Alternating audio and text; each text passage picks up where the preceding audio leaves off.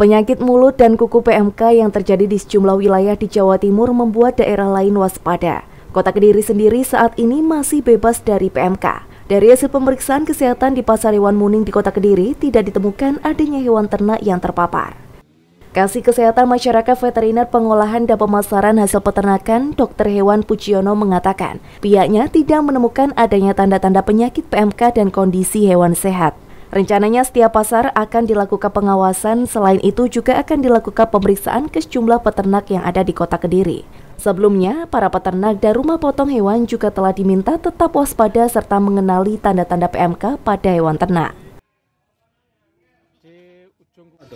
Uh, hari ini kita periksa mulai pagi sampai habis tadi uh, apa sapinya itu ternyata uh, kita temukan kondisi hewannya dalam keadaan sehat. Artinya tidak ada gejala dari mulut atau kukunya yang sakit.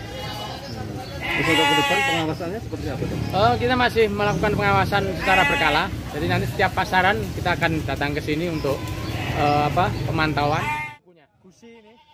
Untuk pencegahan pihaknya melakukan koordinasi dan edukasi ke masyarakat agar masyarakat mengetahui gejala-gejala yang ditimbulkan PMK itu bagaimana. Jika ada tanda-tanda hewan ternak mengalami sakit PMK, maka harus segera melapor agar bisa cepat untuk melakukan penanganan.